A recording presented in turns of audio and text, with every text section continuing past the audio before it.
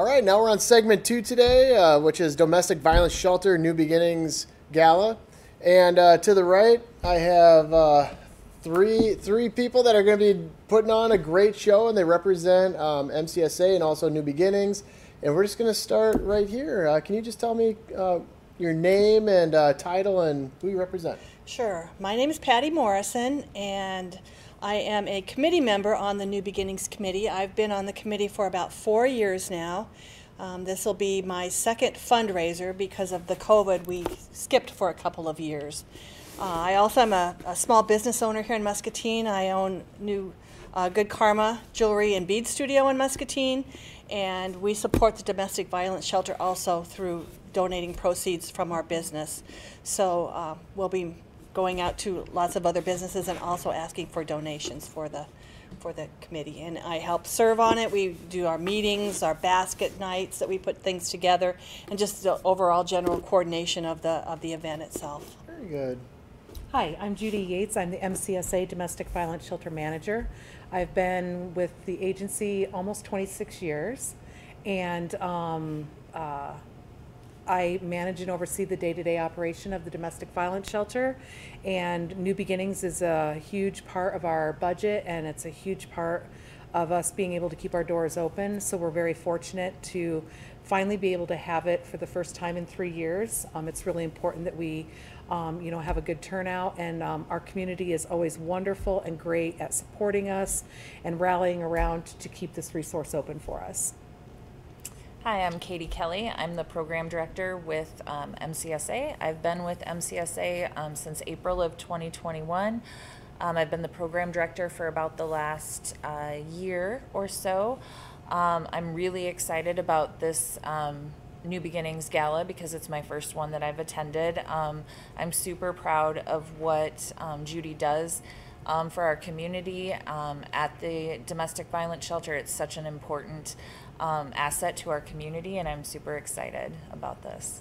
You know, one thing, uh, just the segment we had before, and then what I'm hearing now is, you know, with COVID, it just kind of stalled so many things. But doesn't it feel good just to get back out and about and you know do life and socialize? I just very thankful that you know we're we're to that point. Um, so, what is New Beginnings, and uh, when did it start, and why? So, New Beginnings started, um, let me see, about 21 years ago. Um, we were asking for donations in the community, and I came across a couple of ladies that um, had gathered some things for our shelter, and they said, You know, but what do you really need? And I said, we really need to keep our doors open. We're grant funded. Um, we can't charge for our services. All of our services are free and confidential. So we don't charge the clients rent. You know, we don't bring in any income of any kind. Um, we really need, you know, money or ways to keep our door open um, because we worry every year with the grant cycle. And she said, let me do some thinking on that. And um, a couple weeks later, she got back to me and she said, I think me and some of my friends are going to have uh, uh, a fundraiser for you um, to raise money. And it started from there. It was completely community ran, um, community thought of. Um, they planned the whole event. Um, us as staff and had some volunteers and stuff help out. And over the years, some of those people have dropped off from the committee, and we have, you know, um, got new people on the committee and that continue to stay with us every year. So um, that's how it started. It started because our community cared about the resource that we have in our in our area and um, did not want to see victims have to go someplace else or not be able to leave because they didn't have a place to go. So that's how it started. How fortunate are we though as a community? We Muscatine are. is so fortunate. Um, just the, the giving that has been being done for, for years, right? For And- all agencies. I mean, we are so blessed in this community. I mean, our Humane Society, you know, the food pantry, you know, I mean, just so many things that the community really cares about. And I know that sometimes they might get tired of hearing about, oh, they just want this, or, you know, now somebody else wants something. But, you know, I mean, there are some services and some resources that once you lose them, they're gone for good. And you'll never get those back. So the event coming up, uh, what can people expect at this event? Well, we're going to, um, it starts on the 15th, April 15th, 5:30 to 9:30. And when you come, you have to register. Tickets are $75 per person, or you can sponsor if you're corporate uh, or a company that wants to sponsor. You can do a sponsorship at different levels, and then you get seating depending on the level um, of that sponsorship. So when you come that evening, you check in. There's going to be a champagne welcome. We're trying to get uh, uh, someone to have some music, whether it's some live music, just to welcome everybody there. And we'll have a, a dinner as well, hors d'oeuvres and dinner. Everybody will sit down and have their dinner. Um, there'll be all kinds of uh, silent auction items. We put together baskets, theme baskets for all kinds of different things like pamper yourself or um, a barbecue or Dog basket, cat basket, kid basket. yeah, all kinds of different things together. And so then you can peruse the tables. I think we had about, how many baskets last time? I want to say 75, 80. There Yeah, was a lot. there were a lot of There's- baskets, It's, so- it's big. Yeah, you go and, and you, you know, you get your drinks or whatever you want to do and just kind of have a little social time then to look around at, at what they're doing. Um, there's then the dinner there. It's a buffet dinner that we're going to have. Then there's going to be um, a program, and we're getting a speaker as well, um, a survivor of domestic violence, to be able to come and speak at the event. That's always very, very moving to, to hear their stories and how they've improved themselves and, and gotten their life together again. So we do that. We have um, a live auction as well with some big items, some jewelry, some trips, some different things going on there as well. So there's a lot of uh, live auction. We have a grid, so there'll be um, there's a fire pit that we're going to have on a grid, and hopefully a barbecue grill. Working on that, so then you can you can do the grid. We have uh, tickets, 50-50 yeah, tickets, 50-50 tickets, so you Um, can do door that. prize tickets. So And then, of course, we're, we'll be selling our blooms, our Yep. Isabel blooms that Oh yeah, those are so that's, cute. ni- that's really nice. Um, they're a limited edition um, from Isabel Bloom. They make them special for us. Um, they have a, a special finish on them. Purple is for domestic violence. Um, so they're limited. You can get the, the gnome in other colors, but you'll never be able to get it in this purple again. Excuse me, it's specifically for us. And then, um, so, and the back of it has a flower on it. Um, we are only um, able to, to order and sell up to 400. I know we've sold 200 so far, and we've ordered another 50. Um, they're for sale at MCSA, and um, the proceeds stay local. They stay with us, and they're $35. Um, so it's the sixth year we've partnered with Isabel Bloom, and um, every year they do a different one for us with purple sparkle or purple on it. And they're collectors, and people really, really do like them. They'd be great for Mother's Day, Easter, graduation. We'll have those for sale that night as well. Okay. And this year, there's a lot of different ways to pay for it. You can pay for those in cash, check. You can use our Square for credit card. We also have Venmo and PayPal. Um, so um, just come on into MCSA and we've we'll hook you up with a gnome. Yeah. I, I like the flower in the back. That's kind of a cool little Yeah, feature. is. It's really Um, cute. That's really nice. Yep. So, talk to me about um, where the event is and what will people expect when they come in. You know, there's uh, probably a check-in table, things like that. What, what can people expect? So, like Patti said, when you come in, um, you do have to get your tickets ahead of time. They are seventy-five dollars each. So, if you're interested in getting a ticket and you didn't get an invite, you can contact MCSA and pay for it through Venmo or um, PayPal. Um, uh, so, you know, you'll receive a packet, and in your packet will be your bid number. Everything is done that night on bid numbers. It's solely, no cash is, is you know, if, at checkout, if you want to pay with cash, you can. But throughout the night, you bid on things, you you do your silent auction and everything. Um, and as soon as you come in, there is a champagne meet and greet. Um, it's just for people to just kind of unwind. Um, even though domestic violence is a topic that people feel is very private and shouldn't be talked about. We are trying to bring awareness to that, but along with the awareness, we are also want people to realize that it's it's it's a fun evening. I mean, it's a serious topic, but it's a fun evening for people to come together and to you know see people that they haven't seen for a while, and to bid on some great baskets and uh, you know prizes and things like that. Um, so we do have a a um, survivor that is going to speak. It's very short. Um, so most of the evening is done, you know, just with, you know, laugh and fun and, you know, people going in and out of the bar and, you know, the food is up until nine o'clock and um, we're having desserts by um, Let's eat? No. West Hill. West Hill Cakery. Cakery, um, they are sponsoring and they're doing all the desserts for us. So, you know, people just kind of mingle throughout the night. Um, it's just, it's really relaxed, it's really fun. Um, and then we, we have certain times throughout the night that we pull baskets or we, you know, do the 50-50 drawing or the, um, the live auction. And it's, it's a lot of fun. Um, people were really disappointed. In 2019, um, we were we had sold tickets and we had started getting things to make baskets and about two months beforehand um, we had to make the decision to not have new beginnings because that's when covid hit. And um, you know there's about 215 seats available total. And um, so we had to make the decision not to have it. And then the next year it was still like mm, better not have it yet. Um, and then last year we probably could have had it but we were still a little worried. Numbers were starting to go up a little bit. So um, this is the first time we've had it in, in three years and it's much needed And it's at Geneva. oh Golf geneva Course. country club yep um, good. They That's a, um, that's a nice area for an event. It isn't is. Beautiful. Yeah. It's beautiful. um, you know, and they always do a great job, you know, s- helping set up the tables and everything. So, yeah, um, it's uh, April fifteenth. Just remember tax day. Um, I guess we could have we could have picked a worse day What a- to have what a a- fundraiser. no, that's a good day to um, for people celebrate. that- Celebrate champagne. um, so, um, but um, it is April fifteenth. Yes, Okay. it's always in April, but um, that's the year, that's the date that was picked um, last year for this year. So it's tax day. And Yes. Tony Tone Lockstone, he is our MC. Everybody knows Oh, Tony. that's So that makes a party right there, really. Yes, it Yeah, does. he keeps And- things moving. Oh, he does. He's wonderful. Yeah. He's he's the one that helps pass out the champagne and greet everybody when they come in. That's Yeah. perfect. So he that role was made for him. Yeah. That's great. That yeah, he, he's a big wonderful. supporter. He's a huge supporter, just here Yeah. and then also just everything he does.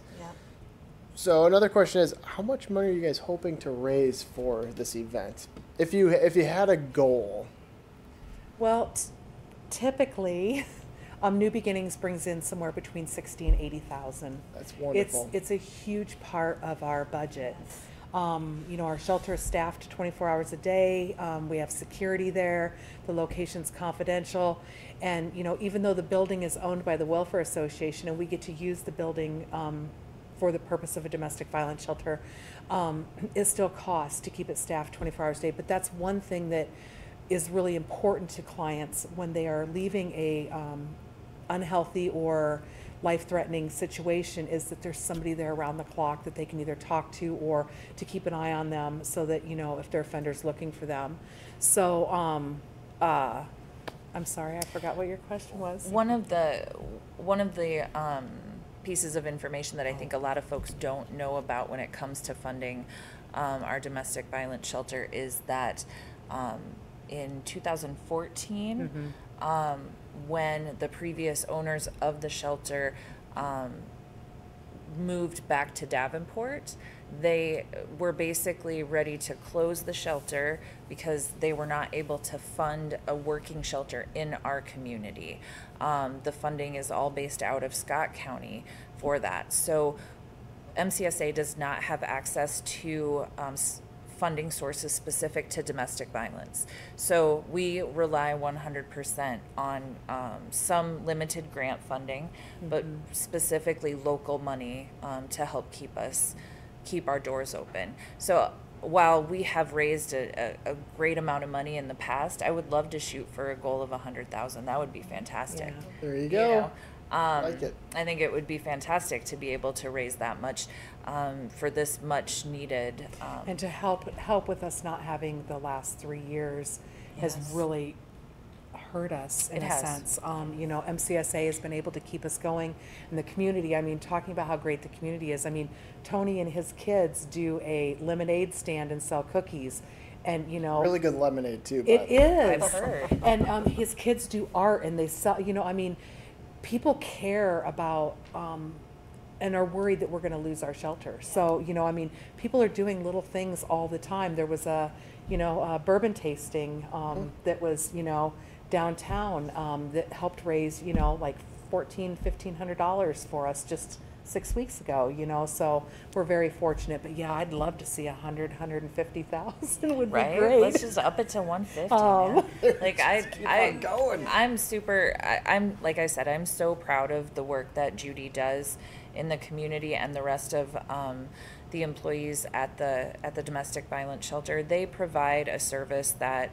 Um, you know, if someone is experiencing domestic violence in our community, um, and they have kiddos that go to school here, i- if if we didn't have this here and they needed to feel protected, they would have to go to Iowa City or Davenport in order to be um, safely housed in a shelter um, that's secure and safe from their abuser. It that would be devastating. Um, for me, when I think about that, moving my children's school, uprooting their lives, uprooting potentially my job, um, to to be to a whole nother large community, is a scary thing, and so that that will put that puts a lot of survivors at risk. It raises the risk of them being harmed or worse. Um, so the the service that that Judy and her staff uh, provide at the DV shelter is it's it's immeasurable. it really goes to re-victimizing them as well. You know, it's almost like they're being punished because they were abused. And, you know, like Katie said, you know, um, a lot of people will just choose to stay because they're worried about, you know, their kid's going to graduate next year and don't want them to go to a new school.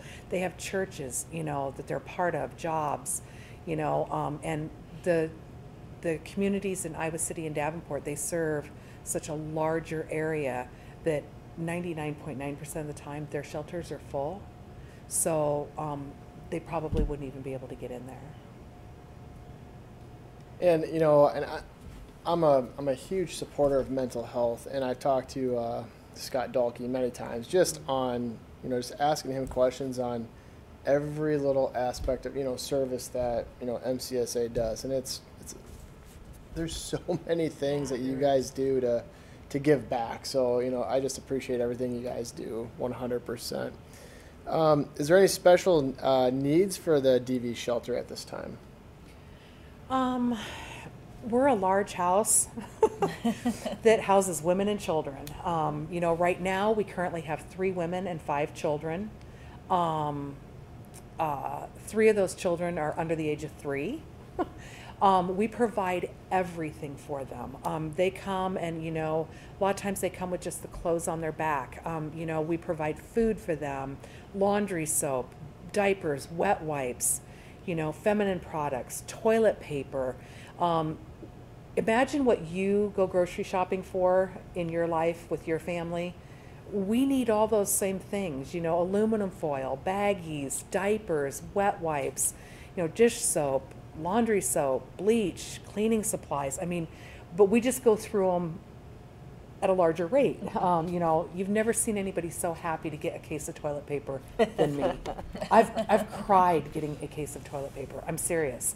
I mean, there are things that we would have to go out and buy as an agency that we just don't have the funds for. Um, but how do you not have toilet paper? I mean, you know, or just the basic needs. You know, a woman that's leaving and she doesn't have a job and doesn't have any income or anything, how do you tell her to try to make her diapers last longer? I mean, you can't, you know. Um, and those those are things that you can't buy with food stamps. Those are things that you know are expensive. Um, so we need the same things that everybody else needs. And if anybody wants to donate anything like that, they can take it to MCSA and tell them that it's for the domestic violence shelter. I stop over, or you know, Katie and some of the staff come over to the DV shelter. Everything gets brought to us. Um, so you know, underwear, socks, kids' pajamas, um, things that when the women are packing and throwing things in a bag that they just don't remember to grab, bras, you know, things that you know they just forget to grab. So in the in the DV shelter, you mentioned um, three adults and five children. Right. Is that is that about how many that stayed there in 2022 then, or what? any stats on that, if I may? You can go ahead and give the stats. Okay. Yep. So that's just who's currently there right now. Okay. Okay, um, it's a four-bedroom house, and, um, one of the bedrooms is handicap accessible. So right now, we have, um, somebody or a family in three of the bedrooms. Um, uh, we have had just a little bit of a stint with COVID, so we are trying not to double people up, but we Sure. can. Um, but in um, last year, we served 39 clients. 22 of those were women, and 17 were children. Um, so that's how many we housed. But another number that I find, well, a couple numbers that I find to be really astonishing is um, we had 47 women call for shelter last year that were okayed to come to shelter, but for whatever reason chose not to. Um, due to the dynamics of domestic violence, average woman leaves seven to 10 times.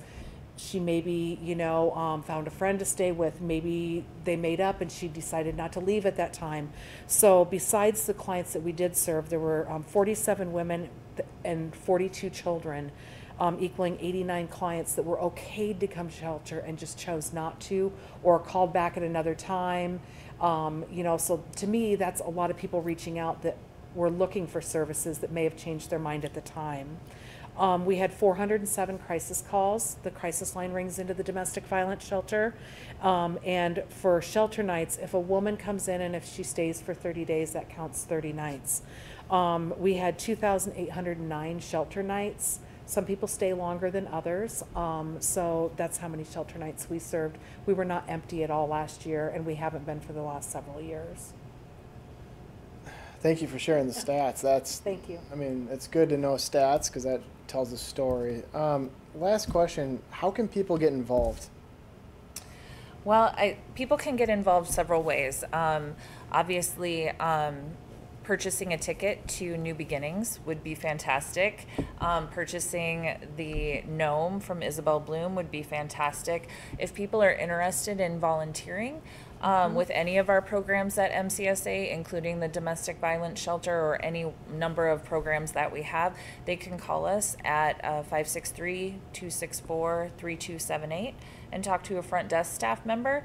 Um, they can let let us know which program or, or if they have an interest. Um, we can help direct them to the correct program for them to volunteer. Um, also, you know, we've we're consistently posting needs lists on our uh, Facebook page, um, at our MCSA Facebook page. So folks are welcome to uh, help provide those items to us. Um, and, and like Judy said, when somebody brings um, a donation to MCSA and says it's specifically for the domestic violence shelter, we make sure that it gets over to the domestic violence shelter. So those are some ways that folks can get involved. Absolutely. Donations also for the event.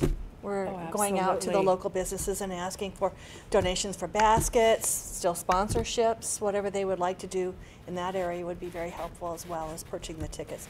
Um, MCSAiowa.org is the website that you can go to, and under Services Domestic Violence Shelter, Mm-hmm. there's more information also about the event on there. And I think you can link to that to get tickets as well. Yes, you so can. Yep. It's another way to do it, so. Well, very good. Any last? I won't say last words, but any any last uh, thoughts you want to?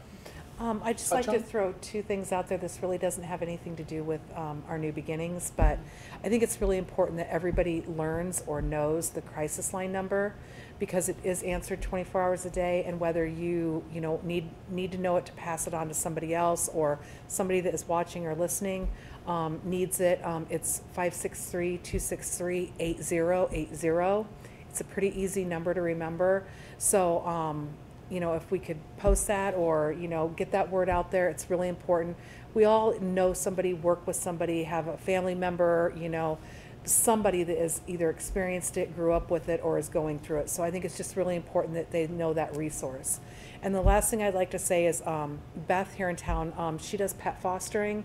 Um, due to the dynamics of domestic violence, a lot of victims will not leave because they won't leave their pets and we cannot have the pets at our shelter. But Beth Van Zant, she um, pet fosters for us, and I know I I have two dogs, and if I had to leave my home, I would stay. If I had to leave my dogs, only because a lot of offenders will use the animal and say, you know, you leave me, I'm gonna harm the you know our pet. Um, and a lot of people, when they call, will say, Well, I can't come to shelter. What else can you help me with? Because I won't leave my cat or I won't leave my dog.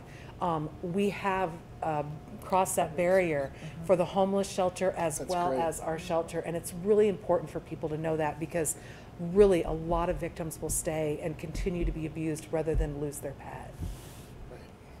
So, And it, it's so refreshing to um, hear at the at the event, hear the stories of a survivor, of how they have, you know, overcome these obstacles that they've had in their lives, you know, some terrible times in their life, and with the resources that they've been able to have here at the domestic violence shelter and to better their lives and to move on to uh, more safer places. It's just really inspiring to hear those stories, those success stories. Judy won't toot her own horn, but the amount of people who have um, benefited from meeting Judy and receiving services from her shelter is overwhelming. Yes. Um, I've heard several thank success you, stories. It's the community. I've heard um, several success stories about how her empathy and um, her work with clients has helped them to make better choices moving forward, and we're we're so very proud of, Yes, of what are. everyone does. I'm very there. passionate about what I do. Um, I grew up in a home with domestic violence. I've actually spoke at New Beginnings and told my story, which um, a lot of our staff um, did not know. Um, it's not something I share, um, but with my mom's permission, um, uh, the last time we had it, or the time before the last time we had it, I actually told my story. I just don't think that people realize what children growing up in a home with domestic violence, screaming and yelling, and crisis and chaos go through. And, you know, I know that, you know, at some point in time there may come a day where we can't have our shelter doors open anymore. Um, but I don't like to look towards that because I just can't imagine what our clients would do if they didn't have that option. Um, so, um, myself and, and many of the staff have been there for um, over 20 years, so we're very dedicated um, to helping women and children, and it's we're saving lives. Well, I appreciate everything you guys do. This is this is just another amazing event. Um, you know, part of this uh, series that we just talked about today. But um, thank you so much for showing up to the show. And um, well, Muscatine, there you have it. You have uh, two events coming up, both for absolutely amazing causes. You have the first one, Rocket in the USA, which is March 11th this Saturday, 5 p.m. at the Muscatine Armory. There we go. Thank you, Chad. And then also on April 15th, also known as Tax Day. Yes. Thanks for reminding us. Um, and that starts at 5:30 at the Geneva Golf Course right there. And uh, amazing causes. Just another reason why our community is amazing. We care. We have hearts, and it's just this is this is wonderful to uh, to have people that that care about each and every person in our community. So thank you, Muscatine. We'll see you next time. And remember, be your best.